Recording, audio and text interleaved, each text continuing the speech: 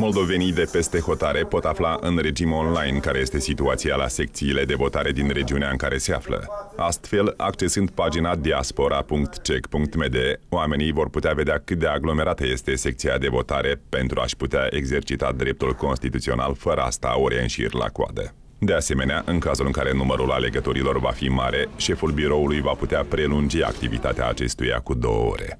Conform codului electoral, președintele Biroul Electoral a secției votare are dreptul să prelungească uh, ziua de lucru cu încă două, până la două ore. Așa că noi suntem gata să prelungim până la două ore, dar asta în dependență de fluxul de persoane.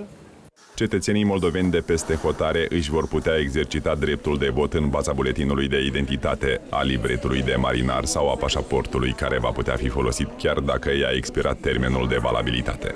Potrivit Comisiei Electorale Centrale, pentru fiecare secție de votare de peste hotare vor fi alocate câte 5.000 de buletine de vot.